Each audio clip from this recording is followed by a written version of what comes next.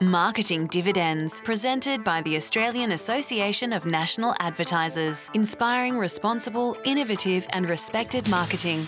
Hi, I'm James Hier. Welcome to Marketing Dividends. We're back for 2018 in Adelaide to talk about beer, budgeting, and bikini bodies.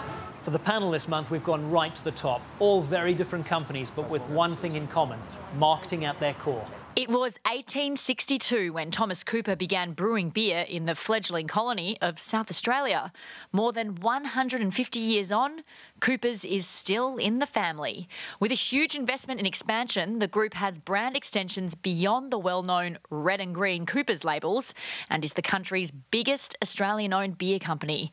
It recently leveraged that Australianness to win a five year deal as the exclusive supplier to the Australian Open. Tammy Barton admits she's a penny pincher, even though with 250 staff and 20,000 clients, she doesn't need to be. She started the MyBudget business in 1999 from home and is now on the cusp of taking the business global. The two time Telstra Businesswoman of the Year built the brand around her with TV ads and a huge referral strategy. If you haven't seen Kayla Itsines doing squats, then you haven't been anywhere near social media of late. With fiance Tobi Pearce, the personal trainer used social media to build a worldwide online fitness phenomenon. Using social and data, the pair has captured the female 20 to 35 market, including Hollywood celebrities. In fact, Kayla is herself now a celebrity, appearing around the world at boot camps with hundreds of fans. This week, I spoke with the heads of Coopers, Sweat, and MyBudget. Here's what we discussed. My clients are talking to me about this low growth world that we're in. But if I look at you, founded 99 and average 20% growth, it's not something that, that seems to be affecting your trajectory. I'm curious how marketing has contributed to that. Yeah. Well, marketing has contributes substantially to that. I mean, it plays a really crucial role in our business. If marketing performs, the business performs. It has a direct impact on our growth. And just to highlight and to give you an example, a couple of years ago, we launched a new campaign, the Schmickers most expensive campaign we've ever launched. And from the week it launched, our leads actually started going backwards, and we didn't grow for the first time in the history of MyBudget. and it broke my heart, but six months later, after spending all this money, we had to pull the campaign and go back to our our original format, which was using real clients, telling their real stories about a real business, how, how we've helped them.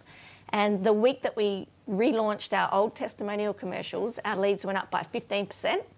We shot new creative, introduced our, made sure that our CVP, our customer value proposition, was prevalent in those in that campaign and then when we launched them, our leads went up by 40%. So it's not that just that marketing has a direct impact on growth, it's the right marketing has the direct impact on growth. Right. And Glenn, if I look at 24 years of beer volume growth, but you've been around for 155 years. I mean, there must be an enormous amount of ad stock equity that's already been built. How, how does marketing really contribute to a brand that's been around such a, a long time and, and would be something that is incredibly familiar to all Australians. Yeah.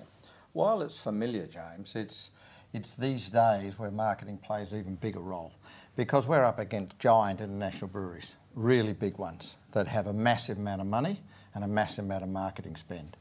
So to us, the marketing became a, an issue that we had to be unique. We couldn't be the same as the others. A bit like beer's beer, but what we did is we tried to make ourselves uh, different. And some of the best marketing campaigns we did were always unique and, and quite quirky. They were done by um, Andrew Kelly and uh, Peter Withy at KWP, who was still with and been with them a long time. We had to differentiate ourselves a little bit, but not take ourselves away from what the consumer saw as a beer drinking brewery. So it's, it's now more relevant than ever that we can try and control that position. Because if we don't control that position and we become just like the others, we will get murdered. They've got massive boxing gloves, we've got little gloves. And so in the end, we have to market, but in a unique way. Right. And talk about unique marketing. Tobi, with your partner Kayla, built an almost $100 million revenue brand seemingly overnight. Uh, Are you using the four Ps? Four Ps. Um, Do, you, know- do I need to tell you what they are? Could, could you? Yeah. Um, no, I think. Um, well, whilst I think they're they're definitely relevant, I think um, a lot of our a lot of our decision making processes is based certainly off of other things. So. Um, our um, yeah, like holistic business decision making process is actually based off of four pillars that um, that we we call feasibility, profitability, scalability, and sustainability. Um, so whilst the four Ps are important for certain pitching purposes and so on and so forth, we actually use those four pillars to mandate our decision making internally um, in relation to not only marketing but other business decisions as well. So. Um, as far as marketing goes in relation to our business, I mean, it kind of yeah fundamentally provides three three key three key things, and they're basically reach and awareness, um, an ability to push our messaging and branding, and ultimately supply. Which is lovely, um, and uh, ultimately um, the ability to invoke an action or emit an action from a user, whether it be engaging with content or actually making a purchasing decision. So, And those four pillars, do you, do you have to tick each of them off? Do you have to get them all right? Is two two out of four going to crack it? No. Um, the reason uh, that we, we kind of explain it as four pillars of a house, or the you know the four four pillars within a house, and if one of them or two of them don't stand, then the house won't stand. Um, and the reason being um, because of the way that they're constructed, they're all interdependent, like all dependent on one another. So um, primarily, like if we were to run a campaign, for example, that was hugely profitable, that's obviously traditionally a good thing for business. Um, but if it's not something that we can sustain for a, a longer period of time, or ultimately something that's scalable, um, then we're not necessarily really interested in it um, because it's only a short-term win and it's not something that's actually going to have a, a fundamental like change impact on the business. Like, yeah, it's all good to run a yeah a marketing campaign that gets 10 really profitable sales. Yeah, but if you're talking about 10,000 a day, the 10 doesn't really actually move the dial. Um, so we're more concerned about the the activities that we do satisfying those four pillars so that we know that they're making good like holistic impacts on the business, not just you know acute ones. And how applicable is what you're doing to other businesses? So, can I take this marketing approach and put it in you know, an analog offline brand, or is it something that only works in the digital world? Um, no, I think it definitely. I mean, I think it like I guess without being blatant, I mean, I think it would probably work in almost any organisation in the world. However, in saying that, obviously the execution is going to differentiate quite drastically. Um, I mean, like we're a primarily digital business, so obviously you can't use primarily digital strategies in an analog business.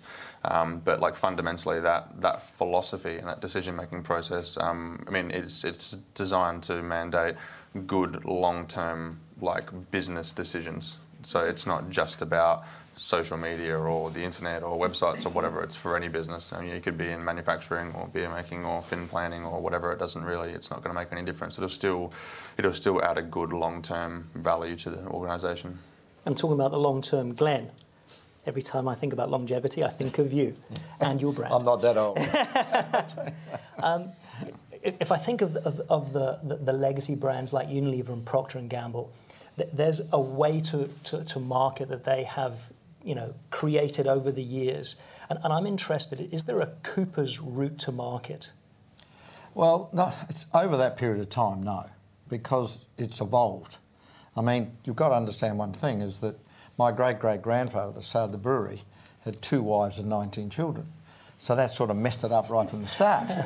so we know a little bit about a little bit of succession planning.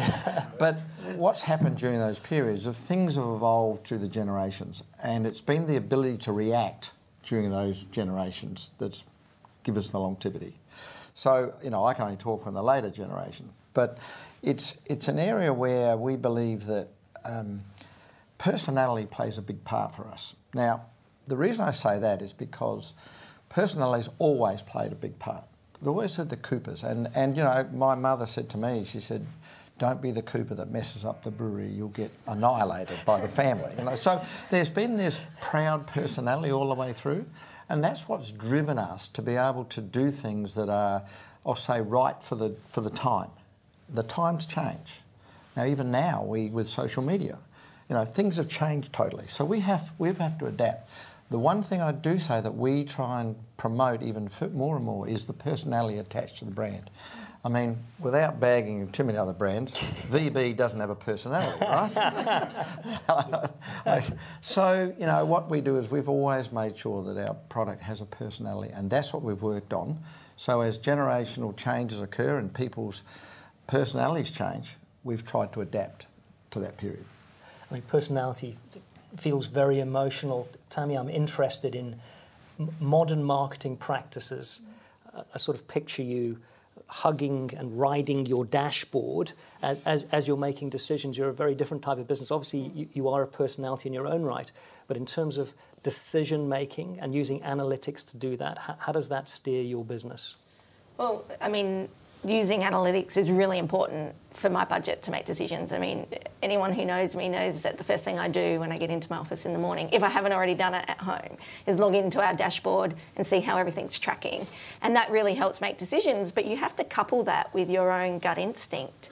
And I say that gut instinct comes from really knowing your client, knowing your product, knowing what they want, knowing what their pain points are, and then being able to solve those those issues for them.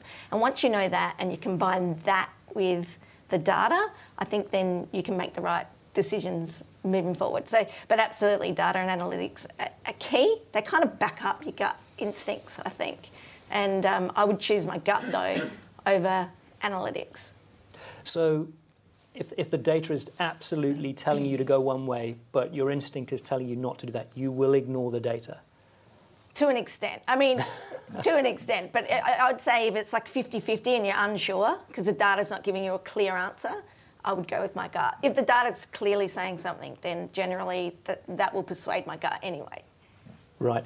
So Tammy, you, you're, you're hugging your, your, dashboards. Tobi, I see you bench pressing the screens.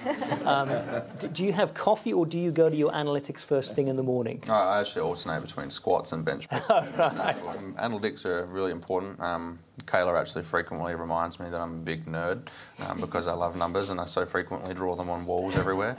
Um, but um, yeah, data for us is um, yeah is, is, certainly really key. I think um, I think actually probably to give a story, I mean, I, I learnt, um, fortunately, in a really positive way that, um, you know, two key characteristics of data are, are, are, fundamentally more important than anything else, and those two things for us are um, attribution and accuracy. Um, so obviously accuracy of data is kind of, I mean, it's, it's an assumed, you kind of assume that it's accurate, but um, unfortunately it's not necessarily always accurate and it's sometimes open to interpretation.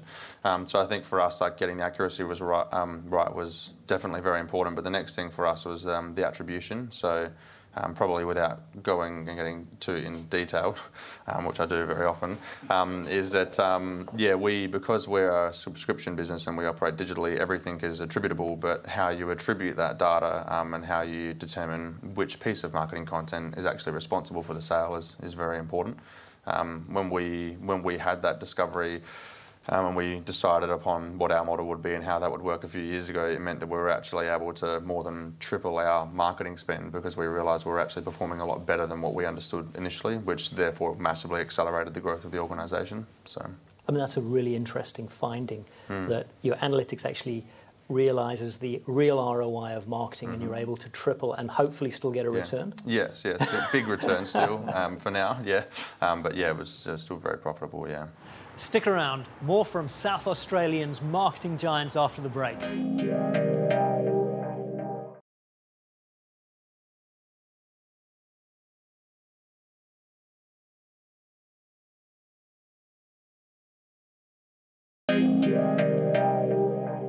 Welcome back. I'm James Hier from Wavemaker, and on the panel this week we have Glenn Cooper, chairman of Coopers Brewery. We have Tammy Barton, founder and director at MyBudget. And we have Tobi Pearce, founder again and CEO of Sweat. All literally first moves into your category, albeit a, a, a bit earlier. Glenn, you've had decades of craft beer leadership. I'm interested now how your company is dealing with a category that, that feels Craft is everywhere, it's accessible, there's lots of variety.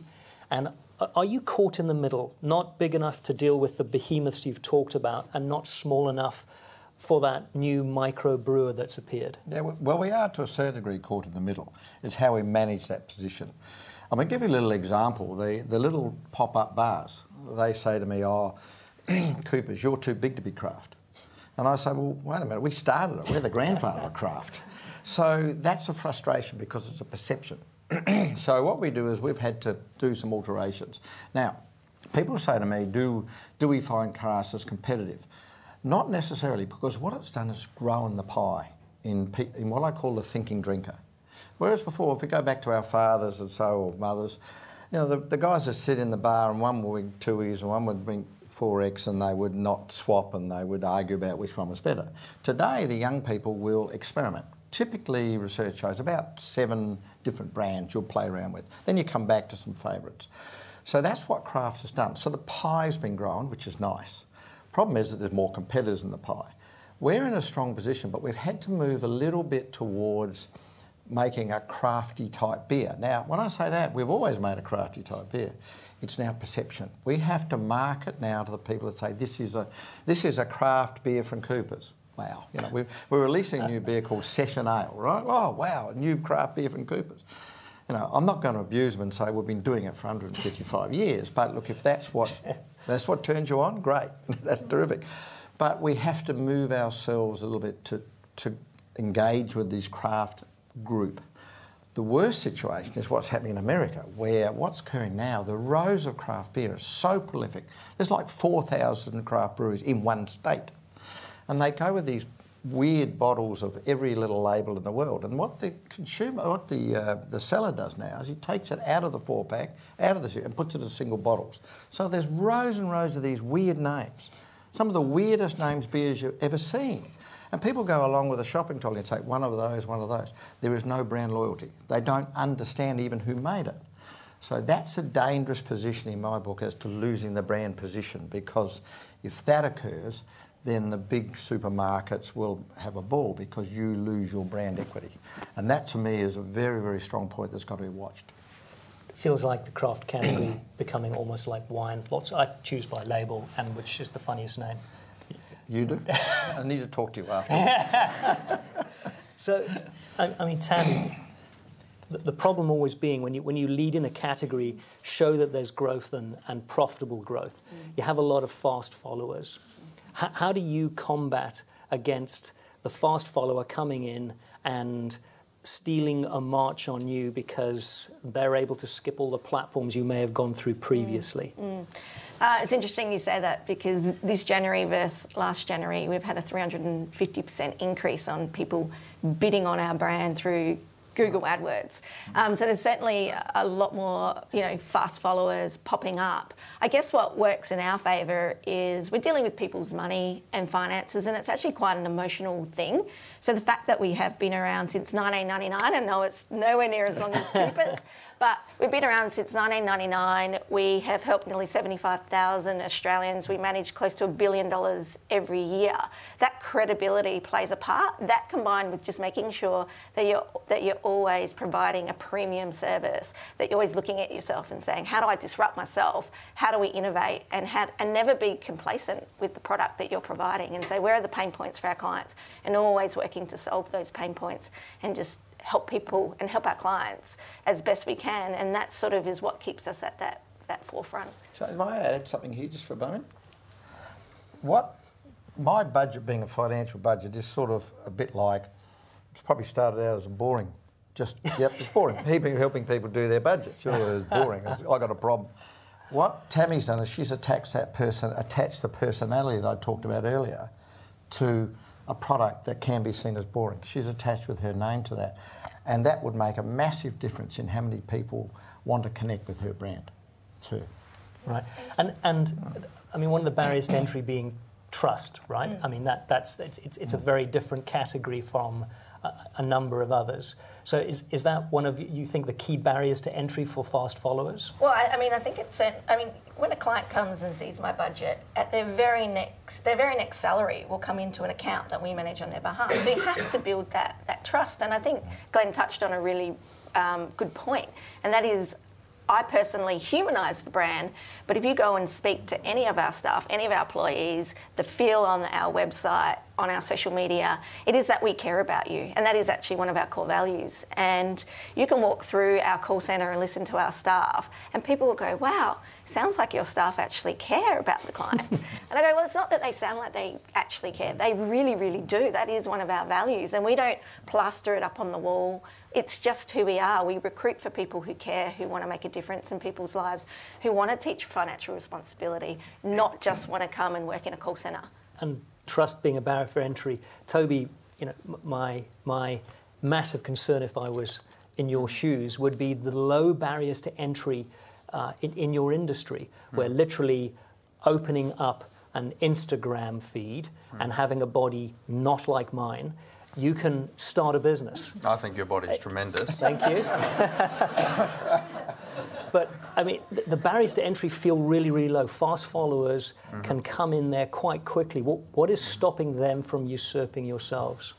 Um, I mean, they, can kind of come and go as they please. Obviously, that's totally fine. I mean, at Sweat we have um, we have uh, we kind of have two different types of competitors, and they're quite distinct um, in the sense that so we have we have businesses and brands that will come along um, that will launch their own app or their own series of products online, and then we also do have the individuals that will that will create a social media account and yeah put their tremendous physique um, online um, and yeah attempt to distribute their content. I mean, I think I think for us like we've we we have a couple of um, couple of different things and approaches that kind of I mean don't render that non-existent but help like maintain our confidence level and our I guess our prevalence in the industry and um, yeah that being I mean I mean first and foremost we, we have a whole bunch of proprietary technology and proprietary content that no one else in the world can have because it's ours.